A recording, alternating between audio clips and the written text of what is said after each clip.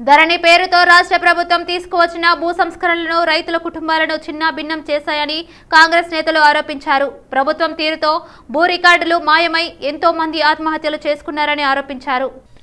ఈ మేరకు రైతులకు న్యాయం చేయాలంటూ రాష్ట్ర కాంగ్రెస్ నేతలు మానవ హక్కుల కమిషన్ను ఆశ్రయించారు. నాడు కాంగ్రెస్ సర్కార్ పేదలకు పంచిన భూములను ధరణి వెబ్సైట్ పరిశ్రమల ఏర్పాటు పేరుతో లాక్కుంటున్నారని విమర్శించారు. ఏళ్ళు గడుస్తున్న సమస్యకు పరిష్కారం దొరక్క ఎన్నో కుటుంబాల పరిస్థితి ఆగమ్య గోచరంగా మారిందని ఆ పార్టీ నేతలు కోదండరెడ్డి పొన్నం ప్రభాకర్ ఆరోపించారు.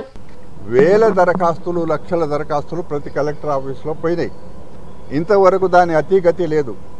దాని విషయంలో ఎక్కడ కూడా రైతులకు హామీ దొరకలేదు పట్టాదారు పాస్ పుస్తకం దొరకలేదు.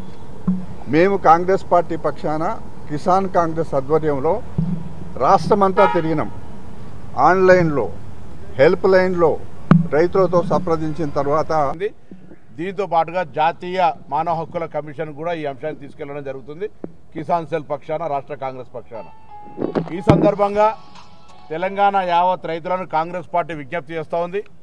ఏ టీఆర్ఎస్ పార్టీ ఆత్మీయ సమ్మేళనాలు జరుగుతూ ఉన్నాయో ఆ ఆత్మీయ సమ్మేళనాల్లో చాలా కాలంగా సమస్యలు పరిష్కారం కాకుండా ధరణితో ఇబ్బంది పడుతున్న వాళ్ళంతా గౌరవ ముఖ్యమంత్రి గారికి కూడా అనేక రకాలుగా వినతి పత్రాలు అప్పయెప్పి ఒక కమిటీ వేస్తే కమిటీకి హరీష్ రావు గారు నియమిస్తే వారికి కూడా జరుగుతున్నటువంటి పరిస్థితుల మీద ఒక వినతి పత్రం కూడా ఇవ్వడం జరిగింది. ఇన్ని ఇచ్చినా కానీ ఎక్కడ కూడా సమస్యను పరిష్కారం చేయలేక రైతులను ఇబ్బందులకు నెట్టుతున్నటువంటి పరిస్థితి ఉంది.